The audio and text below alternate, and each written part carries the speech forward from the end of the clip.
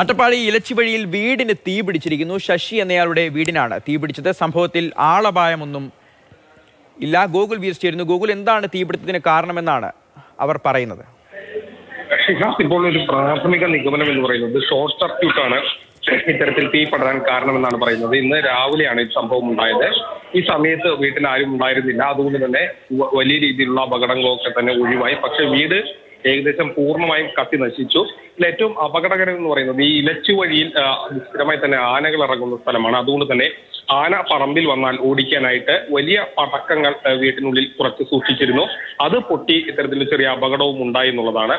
പക്ഷേ ഭാഗ്യം കൊണ്ട് വീട്ടിൽ ആരും ഇല്ലാത്തതുകൊണ്ട് വലിയ പ്രശ്നങ്ങളൊന്നും ഉണ്ടായിട്ടില്ല. ഏകദേശം രണ്ട് ലക്ഷം രൂപയുടെ നഷ്ടമുണ്ടായതായാണ് കണക്കാക്കുന്നത്. നാട്ടുകാരെത്തിയാണ് തീയണത്ത് ശരി ഗോകുൽ വി എസ് ആണ്. പാലക്കാട് വിവരങ്ങൾ നൽകിയത്.